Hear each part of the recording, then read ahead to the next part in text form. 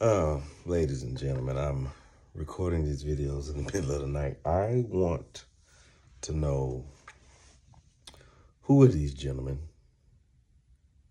What album cover was this? I need to, like, was this a joke? I'm out of the loop, so I need to be informed. I need to be, somebody needs to come and tell me what the hell was going on. These have to be wigs. Like, I don't understand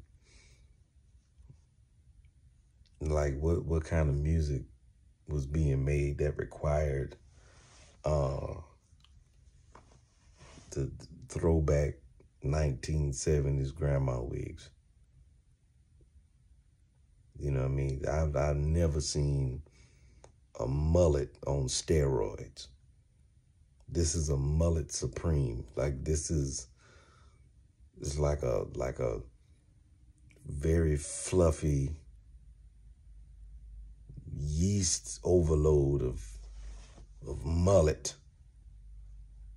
You know what I mean? Like it's a, a, a 40 double D mullet type of style that they got going on. And I just want to know who they are. I just, I want to know who, the, it's, it's like honeycomb mullet. I need to know. I need to know who these is. So if you know, let me know. Because I, I want to know.